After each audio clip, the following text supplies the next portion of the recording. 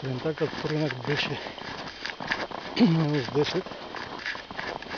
Сега става минус 19. Но при липсата на вятър, чак толкова не се усеща ниската температура.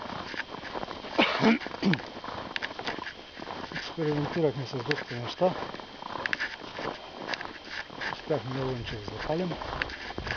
Смятам, че случай просто прежитворна расходка.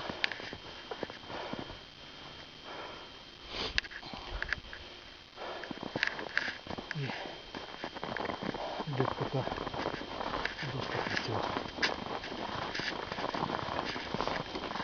Mm-hmm.